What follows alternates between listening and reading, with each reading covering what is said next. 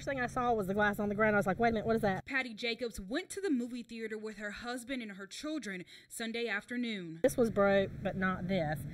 And so there were still pieces of glass up here, but it was just shattered and all inside and all outside. Around 5 p.m., when she left out of the theater, her car was broken into. I had a black bag that was my Sunday um, bag I took to church. So I had my Bible, Sunday school, choir stuff in it. Three other cars were broken into at the same time in this parking lot. Very frustrating to see that they have no way to even find out who could have been, you know, the ones that did it. According to Amstar 16, they don't have security cameras on the outside of the property and they aren't liable for anything that happens in the parking lot. The victims tell me they wish there was some kind of security in place outside. Because that's a lot of people there. The parking lot was full.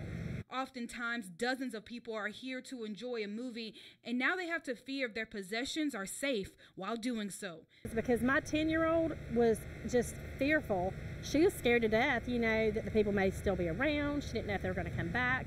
She was just scared. Now, four people are left with stolen goods and broken windows. And according to the sheriff's deputies, there's still no suspect.